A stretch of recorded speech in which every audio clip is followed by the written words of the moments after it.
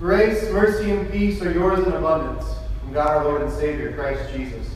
Our text for our meditation this morning is taken from Paul's letter to the Ephesian Christians, chapter 4, verses 30 through chapter 5, verse 2. And do not grieve the Holy Spirit of God, with whom you were sealed for the day of redemption. Get rid of all bitterness, rage, and anger, brawling and slander, along with every form of malice. Be kind and compassionate to one another, forgiving each other, just as in Christ God forgave you. Be imitators of God, therefore, as dearly loved children, and live a life of love, just as Christ loved us and gave himself up for us as a fragrant offering and sacrifice to God. So far, our text.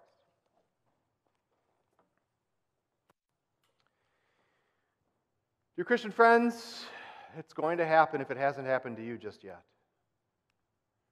The dreaded cell phone screen crack.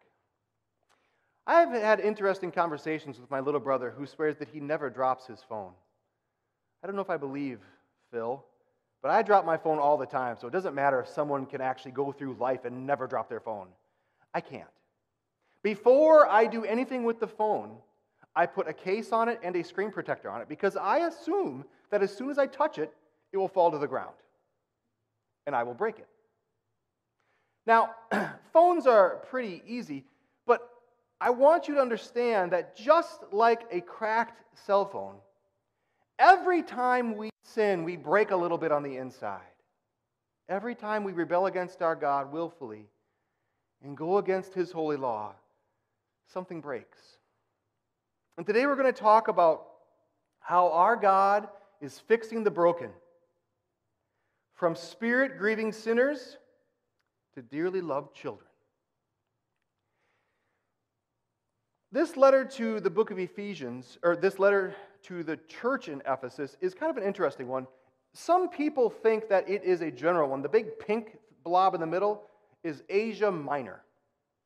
That is modern day Turkey. That was a center of Christianity in the ancient world.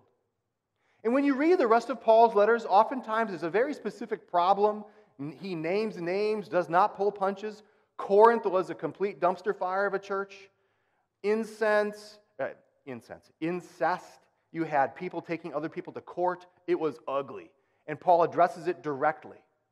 Galatia, they had their own problems as well. But this letter to, uh, to the Ephesians is general. He talks about the nature of how we worship God, how we function as a Christian, Christian church. And then in the second half, he talks about our life and what we're supposed to act like when it comes to Christians. And there are many people who think that this is a general letter to the, all of the churches in Asia Minor. There are seven or eight of them. And maybe also to us. This is some fantastic advice. All of the Bible is useful for correction, rebuking, and training in righteousness. But this letter might be some really good general advice for us. So it is worthy of our time. I want to go to the next slide. Christian, you'll have to help me out there, brother, and take it off. Well, we'll just keep on going as Christian. There we go. All right. Well, before we go into it, I know that this can be kind of a touchy subject. Because depending on what you came from and where your background was, we can all uh, rate ourselves as to how broken we are. That's not what we're trying to do. It doesn't matter, frankly. I don't care if you are so broken that you've lost every ounce of relationship in your life and you've hit rock bottom. It doesn't matter. It doesn't matter if you have just scratched the surface on your cell phone screen of life and your soul is spotless. Everyone will go into heaven limping because everyone goes through this life touched by sin. And we're going to talk about how our God fixes it. But to start, we're going to spend some time about grieving and the Holy Spirit. And this is not a pretty picture, but this is where we're at. Verse 30 And do not grieve the Holy Spirit of God, with whom you were sealed for the day of redemption. How exactly do you grieve the Spirit? Well, God's Spirit lives in you. The Bible says that you are a temple of the Holy Spirit, and every time you sin, this grieves, or you could say makes sad, your God. And you could take that too far and say every time you sin, God gets sad, and every time you do something right, God gets happy. And it's this wild roller coaster of emotions that comes along. That's not accurate. You stand in faith, Paul writes to the Christians in Rome. God loves you in spite of your sin. He does not treat you as your sins deserve. And yet, there is a very real danger, Christian, that talks about repeated sin can separate you from your God. And you can grieve the Spirit. Now, throughout this whole section, Paul weaves in the gospel. And this first chunk is a beauty. Do not grieve the Holy Spirit of God, with whom you were sealed for the day of redemption. I want to show you this picture. I don't know if you can really tell what's going on there. That is a cowboy in the classical sense, and he is putting a hot iron onto a cattle or a cow or some form of animal. This is animal husbandry at its finest. Do you know what he's doing? He is branding that animal. And this is for the animal's protection and safety. Because that rancher is putting his seal on that animal. So if somebody tries to steal it, if somebody tries to resell it, he can't. Because that belongs to that rancher. And you can't take away that scar, that brand. God does the exact same thing with you. It does not involve hot irons, it is not painful. It involves a washing of rebirth and renewal by the Holy Spirit. I'm talking about baptism. He seals you for the day of redemption through those waters. And He washes you clean, Christian. And on the last day, I know that there's been some talk as to the mark of the beast, and some people kind of go all over the place with conspiracy theories. It's very simple and beautiful. God knows who his Christians are, and he can see if you are baptized or not. It is his pledge. The Spirit is the deposit that one day you will be his until the last day when it is known publicly to everyone. And it is beautiful to see that. We go on.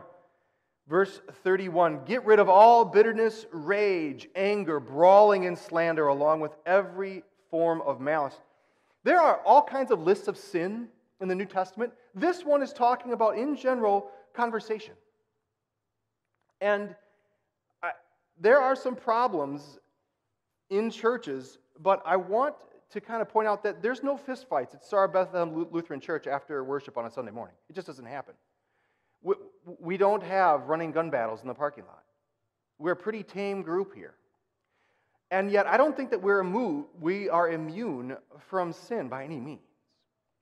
I got to go to my, my kids' open house. This is actually one of the different ones. I didn't have a picture of the high school open house, but it was fantastic. The current COVID rules at this school of a thousand kids is if you wear a mask, you can go anywhere inside and there's no social distancing. You can just cram together. Outside, you don't need to wear a mask, you're just wide open. Well, you were in this big group, and for the first time in a year and a half almost, you saw kids clumped together talking. And it was really cool. They really enjoyed seeing each other. I think that kids need that. I think all of us need that interaction. Well, what goes along with small children and clumps of children? Well, there might be some gossip, there might be some slander going on, there might be some new friendships formed, all of those things.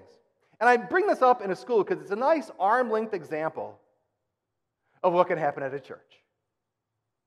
Because that can happen. I'm not saying that it does, and again, small churches have small problems, and I don't know of any, frankly, at Star Bethlehem Lutheran Church. And I praise my God for it. But I would be naive if I said that that would never happen. That's ridiculous. And so please take Paul's advice and guard yourselves wherever you go in life against this bitterness that can grow in your heart rage and anger, brawling and slander, all of those things. Be careful because you can fall into that trap. Don't. There's no reason. It's not helpful. Well, Let's look at the next. Oh, I hang on one second. We need to talk about exactly how we get there because we are fixing the broken and we go from spirit grieving sinners to dearly loved children. What do you do with that sin once it happens? Well, we get a blueprint in Matthew 18. If your brother sins against you, or sister. Go and show him his fault, just between the two of you.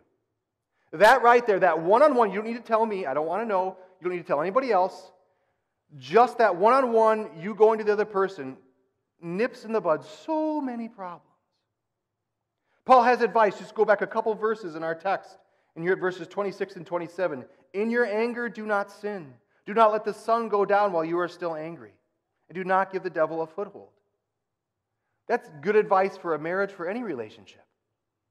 Now, I know that every marriage is a little bit different, and sometimes you can have a conversation far more easily after a good night's sleep than you can when you're exhausted and bitter.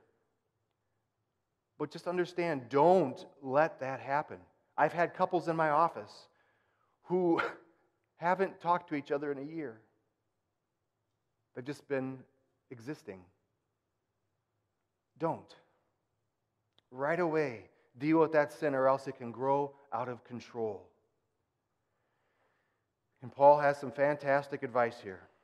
This is verse 32 Be kind and compassionate to one another, forgiving each other, just as in Christ God forgave you. Those words, be kind and compassionate, are a beautiful translation of the original Greek. But do you remember how the King James handles this verse? I don't do this much, but it just works so beautifully. And be ye kind to one another, tender hearted forgiving one another, even as God, for Christ's sake, hath forgiven you. That concept of being tenderhearted is right there in compassionate. But tenderhearted is so vivid. If you looked at that sign in the middle of COVID, because McDonald's is offering signing bonuses for employees because they can't get enough workers, this is what can happen. And the tenderhearted Christian is the one who says, Oh my goodness, why did they all quit? What interpersonal problem, what crisis happened in that restaurant that made people just walk away? I know that the reaction so often after you watch TikTok, you watch Snapchat, you watch Facebook, and so many of these fail videos, it can make you calloused. Don't. Be tender hearted be kind and compassionate so that your heart bleeds a little when you see something wrong. Because, my friends, God fixes the broken through you.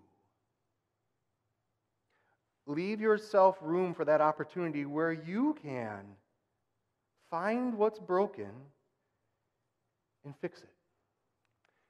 Because the fact of the matter is, that divine love, forgiving each other just as in Christ, God forgave you. That love isn't just a nice card that you give to somebody, this is an action. God so loved the world that he did something. He died. He died that you might live and be forgiven.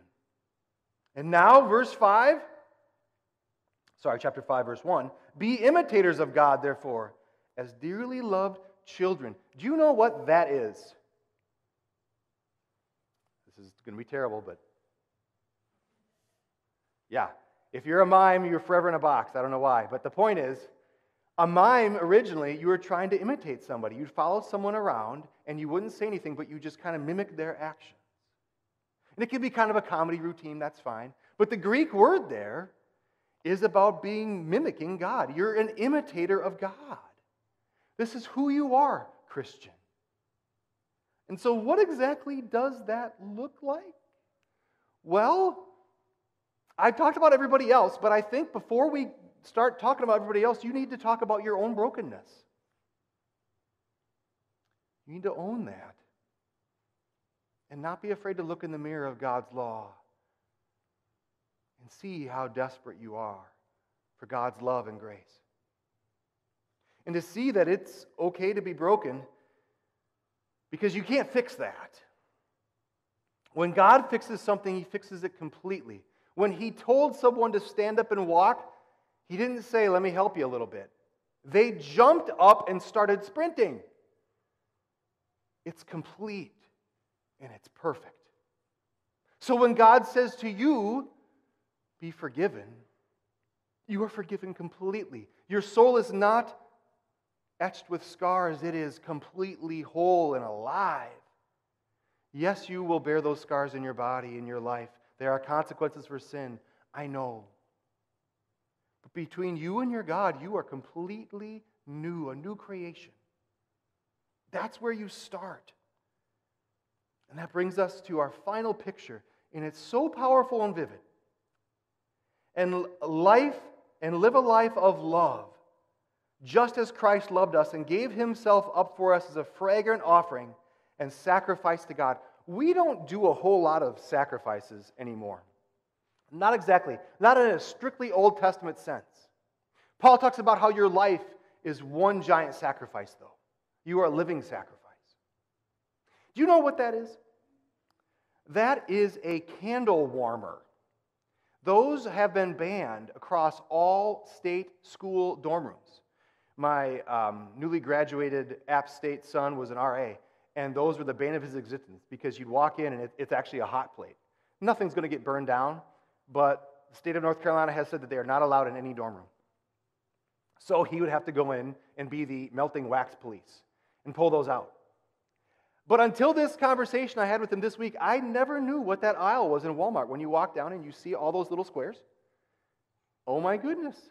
Those are all different ways to get. The whole point of it is you put those in the little melter thing, and then the fragrance comes off, and it smells, and it fills the whole house with pumpkin, with peach, with the scent of a pasture. I, I don't know. They probably have every kind of cube you could want, right?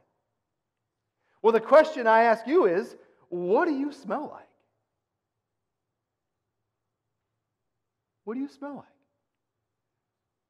The picture is one. So, what happened? God would have the stench of sin in his nostrils in the Old Testament. And God's people, at every morning and evening, would offer a sacrifice to God. And the picture was that one day, the ultimate sacrifice, the Lamb of God, Jesus, would come and wipe that away. And that smell would smell of life and forgiveness. It's a very vivid form of worship. We don't do that.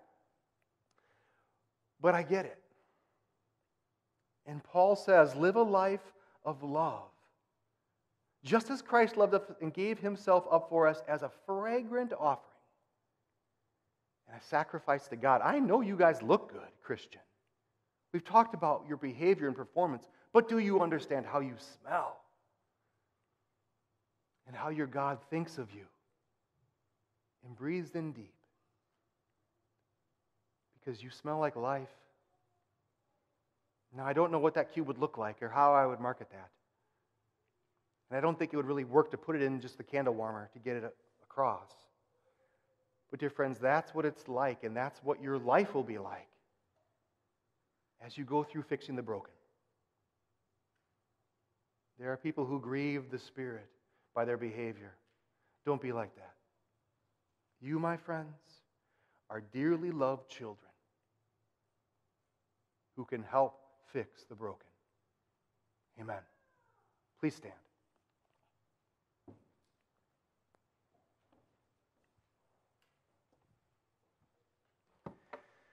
The peace of God, which, transcends all understanding, will guard your hearts and minds through faith in Christ Jesus.